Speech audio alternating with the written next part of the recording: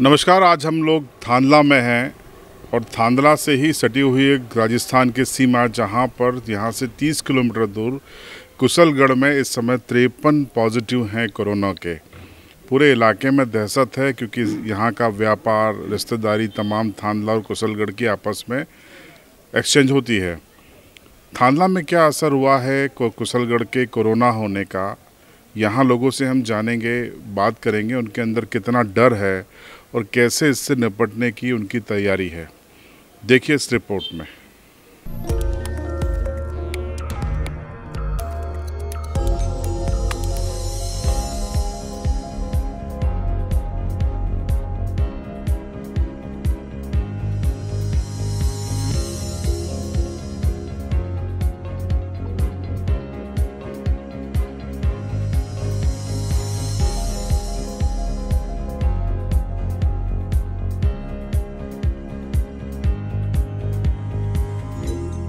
देखा जाए तो बहुत ज़्यादा डर है। जिस हिसाब से वहाँ पर दिन पर दिन केसेस की प्रगति होती जा रही है तो हम लोगों के मन में एक थोड़ा सा दहशत बैठा हुआ है और कहीं ना कहीं हम अपने आप को सेफ़ भी मानते हैं। जिस हिसाब से हमारे यहाँ के पुलिसकर्मी और डॉक्टर्स जिस हिसाब से सेवा दे रहे हैं और सभी थानला के जो जागरूक नागरिक हैं, वो भी अलर्ट है। उस हिसाब से कहीं कहीं दशक है बट फिर भी हम अपने आप को सेफ़ मानते हैं। मैं थानला को अभी भी सेफ़ मान रहा हूँ चूँकि उसका एक सबसे बड़ा रीज़न है कि हमारी 20 से 30 दिन पहले की कोई ट्रैवल हिस्ट्री कुशलगढ़ की नहीं है।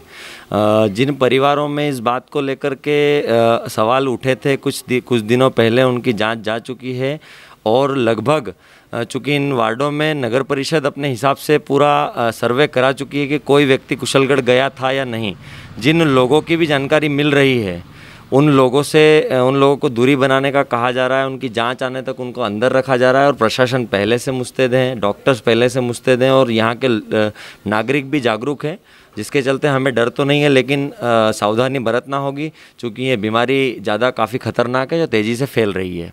ऋषि जी थानला से मात्र 30 किलोमीटर की दूरी पर 50 से अधिक कोरोना कोरोना संक्रमित पाए गए हैं। आप कैसा मानते हैं उसे थानला के लिए? थानला के लिए बहुत ही चिंता का विषय है ये। थानला का काफ़ी सामाजिक और आर्थिक व्यवहार कुशलगढ़ से छूने में आता है, टच में आता है।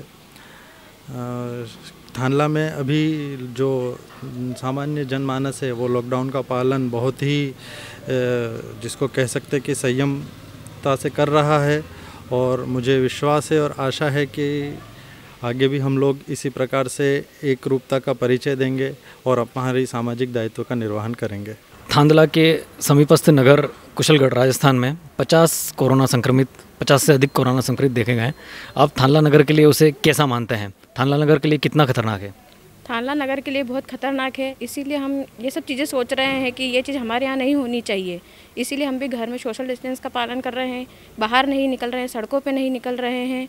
और जैसा कि आप जानते हैं कि जैन धर्म में मंदिर जाना कितना उचित है और कितना ज़रूरी है। लेकिन हमने वो भी छोड़ा है क्योंकि हम जानते हैं अगर एक बार बीमारी यहाँ पर आ गई तो फिर उससे निपटना हमारे लिए बहुत ही मुश्किल है। हमारे पास इतने सोर्स भी नहीं है कि हम उसको आसानी से इस छोटे से गाँव में उस चीज़ को कर सकें। इसीलिए यहाँ की जनता बहुत ही अच्छी है और इन चीज़ों में सब सब एक साथ होकर इस चीज़ों का पालन कर रहे हैं। सोशल डिस्टेंस का पालन कर रहे हैं। घर में भी हम लोग इतनी बार हैंड वॉश करना है, वो करना है, सारी चीज़ें एक साथ अच्छे से पालन से पालन कर रहे हैं। सीमा जी, थानला नगर की मात्र तीस किलोमीटर, चौदह किलोमीटर की सीमा मान लें, राजस्थान बॉर्डर लगती है, वहाँ से संक्रमण, कुशलगढ़ नगर जो है, संक्रमण, पूरा संक्रमित हो रहा जा रहा है। वहाँ पे पचास से अधिक संक्रमित पाए गए हैं। थानला नगर को उससे कैसे सुरक्षित रहना है? कैसे बचना चाहिए? क्या आपके मतलब माइंड में चल रहा है? कैसे उससे बचा जाए? कुशलगढ़ में यह जो विपदा आई है इससे यहाँ के निवासियों को हम थानला निवासियों को, हमारा झाबुआ ज़िले को चिंतित होना स्वाभाविक है, क्योंकि मात्र 30 किलोमीटर के दूर पर ही 50 लोग संक्रमित पाए गए हैं। मैं ये प्रार्थना करूँगी कि जल्दी से जल्दी कुशलगढ़ वासियों को पे जो ये विपदा आई है, वो जल्दी से जल्दी दूर हो।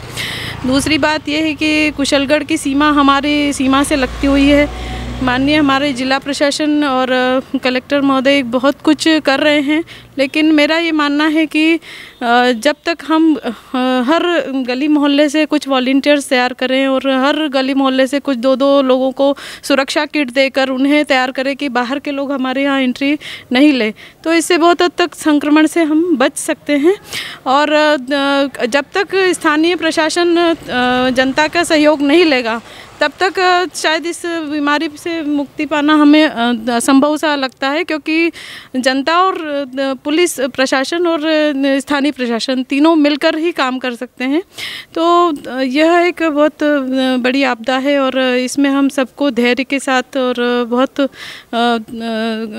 गंभीरता से विचार करके इस पर, क्योंकि जब अगर ट्रांसपोर्टेशन शुरू होता है।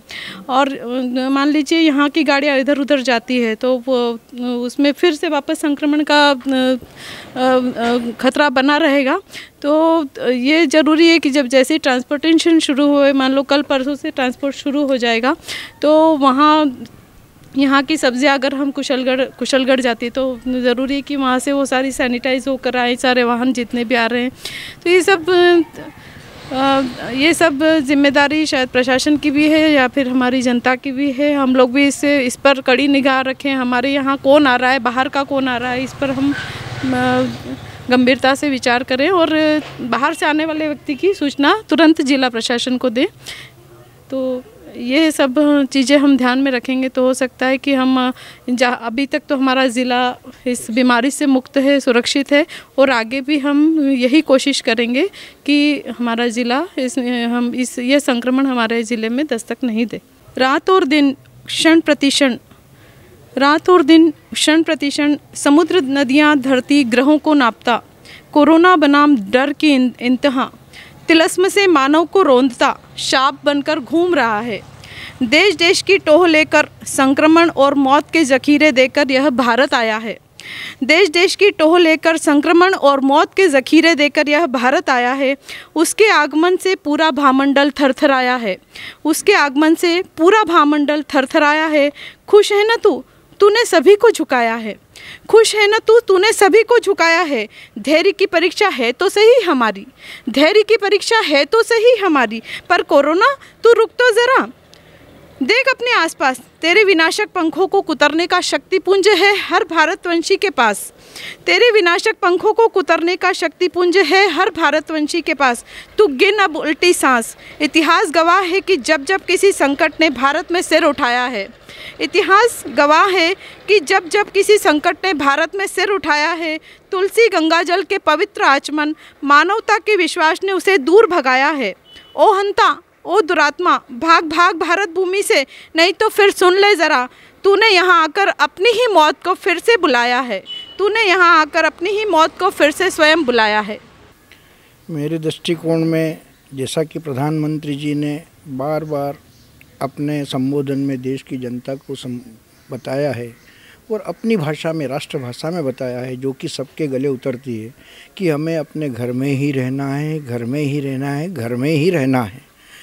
तो इस बात को ध्यान में रखते हुए हमारा जो प्रशासकीय अमला है, जो अपने ड्यूटी पर अपनी जान की परवाह किए बिना कर्तव्य पर डटा हुआ है, उसे चाहिए कि वे अपनी थानला नगर की जो भी सीमाएँ हैं, मध्य प्रदेश की सीमा है राजस्थान से जुड़ी हुई है, चाहे गुजरात से जुड़ी हुई है तो वहाँ सीमा को अपने प्रयासों से, अपने जो उपलब्ध संसाधनों से उसे सील कर दिया जाए एवं जो ज़रूरी सेवाएँ हैं, जीने के लिए जो आवश्यक वस्तुएँ हैं, उसके, किसे प्रदान किया जावे, यह बुद्धिजीवी लोगों को या अच्छे कार्यकर्ताओं को जिनकी इम्यूनिटी अच्छी हो, उनको साथ में लेकर के ये प्रयास किए जाएँ कि कोई भी, एक भी प्रकरण इस ज़िले में न हो।